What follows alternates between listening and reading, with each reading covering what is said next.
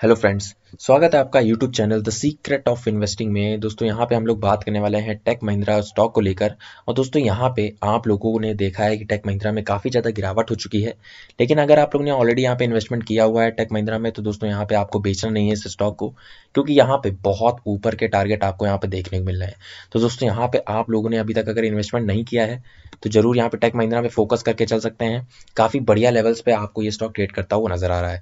तो future target क्या हो सकते हैं वो सबसे पहले डिस्कस करेंगे इस वीडियो में तो वीडियो को एंड तक ज़रूर देखिएगा। सबसे पहले अगर हम लोग यहाँ पे बात करें तो दोस्तों देख सकते हैं, दो फरवरी को H D F C security ने यहाँ पे टारगेट दिया है दो हज़ार पचास रुपए के आसपास का। मतलब कि यहाँ से लगभग 600 पॉइंट से भी ज़्यादा की तेज़ी आपको यहाँ पे आते हुए नज़र आ सकती है। लेकिन दोस्तों ये जो टाइम पीरियड होता है, इन टारगेट्स अचीव करने का, ये थोड़ा सा लंबा होता है। ऐसा नहीं है कि आपको एक हफ़्ते, दो हफ़्ते में ये टारगेट देखने को मिल जाएँगे।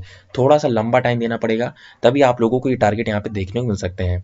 दूसरे ब्रोकर हाउस की बात करें तो दोस्तों आईसीआईसी डायरेक्ट ने तीन फरवरी को यहाँ पे टारगेट दिया है 1850 का। मतलब कि आप लोग देख सकते हैं कि सारे ही ब्रोकरेज हाउसेस काफ़ी ज़्यादा बुले से टेक महिंद्रा को लेकर।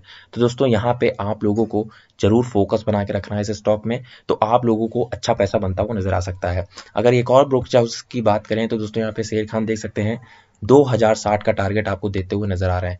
तो डेफिनेटली आने वाले टाइम में ज़रूर अच्छा खासा परफॉर्मेंस करके दिखा सकता है। तो दोस्तों अगर आप लोग यहाँ पे शॉर्ट टर्म में भी पैसा लगाना चाहें तो भी लगा सकते हैं। एज वेल लॉन्ग टर्म के लिए तो बहुत ही फंडामेंटली स्ट्रॉन्ग कंपनी है। हम लोगों ने कई बार डिस्कस भी किया है।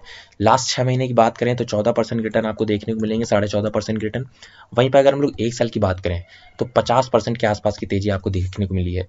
ये जो बहुत सडन फॉल आया है तो दोस्तों एक बाइंग अपॉर्चुनिटी है। तो आप लोग अगर नीचे के लेवल पे बाइंग करेंगे तो डेफिनेटली आने वाले टाइम में काफ़ी अच्छी खासी रैली का भी फ़ायदा आपको यहाँ पे होता हुआ नज़र आ सकता है। तो आई होप मैंने आपके सारे डाउट क्लियर करने की कोशिश करी है इस वीडियो में, और फ्यूचर टारगेट भी बताए हैं। तो आपको अगर ऐसे ही और स्टॉक्स के टारगेट जानने हो तो ज़रूर आप लोग यहाँ पे कमेंट सेक्शन में बता सकते हैं। मैं और दूसरे स्टॉक्स के भी टारगेट बताऊँगा। और मार्केट की जो रेगुलर अपडेट्स होती हैं, वो बहुत ही छोटे टाइम में आपको बताने की कोशिश करता हूँ ताकि आप लोग यहाँ पर रेगुलर अपडेट रहें। तो अभी तक अगर आपने चैनल को सब्सक्राइब नहीं किया है तो ज़रूर कर लीजिए। मिलते हैं आपको नेक्स्ट वीडियो में कुछ ऐसे ही स्टॉक्स के साथ। तब तक के लिए बाय बाय